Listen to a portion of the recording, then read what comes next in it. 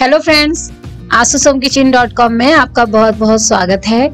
आज मैं आपके लिए सुपर फ़ूड में काउंट होने वाले मखाने की एक और रेसिपी लेके आई हूँ, जो कि सचमुच आपको बहुत ही ज़्यादा पसंद आएगी, जो है मखाने की स्वादिष्ट खीर। मखाने से बनने वाली ये खीर सचमुच बहुत ही ज़्यादा टेस्टी लगती है, और सावन भी शुरू हो चुके हैं, व्रत रखे जाते हैं तो फास्ट के लिए तो सबसे ज़्यादा अच्छा ऑप्शन है ये। मखाने की खीर तरो ताज़ा कर देगी आपको और बनाने में बहुत ही ज़्यादा आसान है। तो चलिए सीख लेंगे हम आज की ये मखाना खीर। तो सबसे पहले एक पैन को मैंने मीडियम फ्लेम पे गरम कर लिया है। फिर इसमें डाले हैं यहाँ पे एक कप जितने ये मखाने या जितना आपके परिवार में आप रिक्वायरमेंट के हिसाब से इसमें कम ज़्यादा कर सकते हैं। तो इसको अब आप दो मिनट के लिए अच्छे से मीडियम फ्लेम पे चला लीजिए। इसको बिल्कुल क्रिस्प होने तक आपको चला लेना है। तो एक, दो से तीन मिनट इनफ होंगे। तो फिर आप दो मिनट बाद इसका एक पीस लेके चेक कीजिए। इस तरीके से अगर ये क्रंच हो रहा है, अच्छे से चटक रहा है, इसका मतलब हमारे जो ये मखाने हैं ना ये कम्प्लीटली रेडी हो गए हैं। तो एक बर्तन में इसको निकालिए और इसको साइड रख दीजिए। तब तक हम और तैयारी करते हैं। यहाँ पे एक बड़ा पतीला मैंने ले लिया है और यहाँ पे मैंने जो बर्तन लिया है, ये थोड़ा सा हैवी बॉटम है सबसे पहले थोड़ा सा मैंने पानी इसमें डाल दिया है और इसके ऊपर डाल दिया है, ये कम से कम 600 हंड्रेड मैंने मिल्क आप यहाँ पे अपने परिवार की ज़रूरत के हिसाब से दूध की क्वांटिटी को बढ़ा सकते हैं, फिर आपको यहाँ पे सब चीज़ों को थोड़ा सा ज़्यादा ज़्यादा बढ़ाना पड़ेगा। सबसे पहले तो दूध को आपको क्या करना है फुल फ्लेम पे अच्छे से इसमें बॉईल लेके आना है। दूध को एक अच्छे से टेम्परेचर पे आपको गर्म करना है। दूध अगर कच्चा है तो आप इसको अच्छी तरीके से बॉईल कीजिए।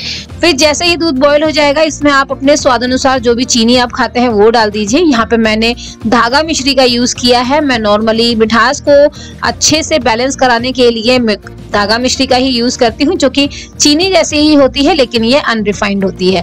तो इसको अच्छे से हम दो मिनट के लिए चलाएँगे, जिससे कि जो ये धागा मिश्री है, इसमें डेले जैसे होते हैं, थोड़े सी गांठे होती है, इसको मैंने क्रश करके लिया है। तो इसको गलने में टाइम लगेगा। तो दो मिनट काफ़ी होगा। फिर जैसे ये घुल जाएगी, इसमें हम डाल देंगे ये मखाने। देखिए, मखाने को मैंने कुछ थोड़े से जो मखाने हैं, वो कुछ इस तरीके से बिल्कुल क्रश कर लिए हैं हाथ से। आप यहाँ पे मिक्सी में एक चन करके भी इसको ले सकते हैं। साथ ही थोड़े से मैंने इसमें साबुत मखाने डाल दिए हैं। अब अच्छे से इसको हम चला देंगे, क्योंकि हमें अब यहाँ पे मखानों को दूध के साथ पाँच से छः मिनट के लिए मीडियम फ्लेम पे अच्छे से पका लेना है, जिससे मखाने थोड़े से भारी हो जाएँगे, हल्के से ये दूध में घुल जाएँगे और इसकी जो कंसिस्टेंसी है थोड़ी सी गाढ़ी हो जाएगी। थोड़ी देर चलाने के बाद इसमें मैंने दूध में भिगोया हुआ केसर डाल दिया है, ये ऑप्शनल है, लेकिन इससे जो फ्लेवर है ना, वो बहुत ही बढ़िया आएगा और केसर या खीर किसे पसंद नहीं है। तो मखाने की खीर में अगर आप ये केसर डालते हैं ना तो फ्लेवर और खुशबू दोनों ही बहुत ही ज़्यादा अच्छे आएँगे। तो इसको चलाते रहेंगे हम और अच्छे से इसे हम पकने देंगे।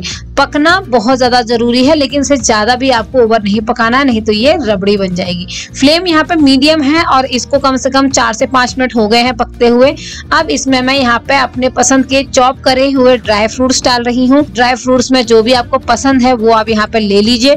मैंने यहाँ पे सिंपल काजू, पिस्ता, बादाम और यहाँ पे मैंने सूखा नारियल को बहुत ही पतले पतले लच्छे में लेके यूज़ किया है। अब इसको बस हमको दो मिनट के लिए ही अच्छे से चलाते रहना है। यहाँ पे फ्लेम को आप हाई भी कर सकते हैं। दो मिनट में ही हमारे जो ये ड्राई फ्रूट्स है ना, ये काफ़ी सॉफ्ट हो जाएँगे, अच्छे से पक जाएँगे इसमें चलाते चलाते ही। तो आप बस इसको एंड में ही डालें ड्राई फ्रूट्स को पहले डालने की कोई ज़रूरत नहीं है।